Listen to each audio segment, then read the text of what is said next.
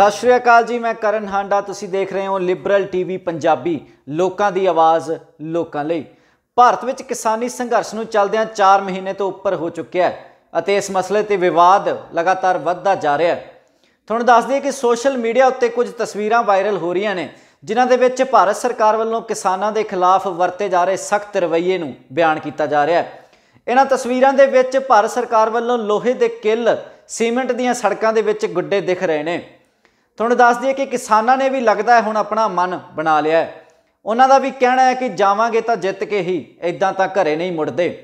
ਅੱਜ ਇੱਕ ਤਾਜ਼ਾ ਵੀਡੀਓ ਵਾਇਰਲ ਕਰਕੇ ਜਿਸ ਦੇ ਵਿੱਚ ਕਿਸਾਨ ਆਗੂਆਂ ਵੱਲੋਂ ਇੱਕ ਨਵੀਂ ਸਕੀਮ ਘੜ ਕੇ ਸਰਕਾਰ ਨੂੰ ਜਵਾਬ ਦਿੱਤਾ ਗਿਆ ਇਸ ਵੀਡੀਓ ਦੇ ਵਿੱਚ ਦੇਖ ਸਕਦੇ ਹਾਂ ਕਿ ਰਾਕੇਸ਼ ਟਿਕੈਤ, ਜੋ ਕਿ ਇੱਕ ਪ੍ਰਮੁੱਖ ਕਿਸਾਨ ਆਗੂ ਨੇ, ਉਹ ਮਿੱਟੀ ਨੂੰ ਮੱਥਾ ਟੇਕ ਕੇ ਤੇ ਮਿੱਟੀ ਦੇ ਵਿੱਚ ਫੁੱਲ ਗੁੱਡ ਰਹੇ ਨੇ। ਜੀ ਹਾਂ, ਬਿਲਕੁਲ ਸਹੀ ਸੁਣਿਆ ਜੀ, ਰਾਕੇਸ਼ ਟਿਕੈਤ ਵੱਲੋਂ। ਸਰਕਾਰ ਵੱਲੋਂ ਲਾਏ ਗਏ ਕਿੱਲਾਂ ਦੇ ਬਰਾਬਰ ਫੁੱਲ ਗੁੱਡੇ ਗਏ ਨੇ।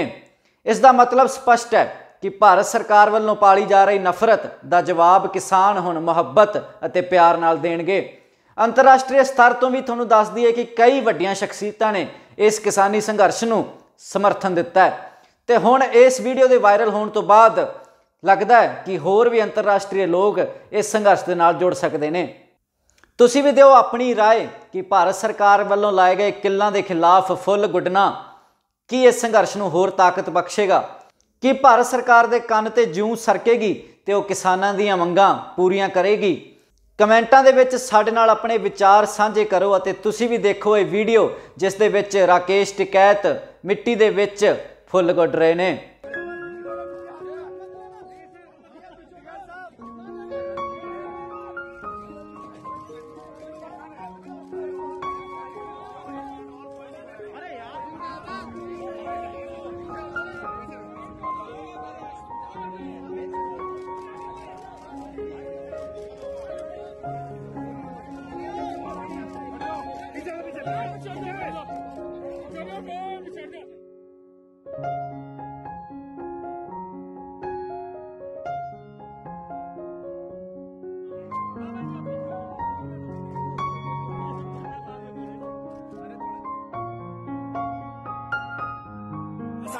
भाई पीछे पीछे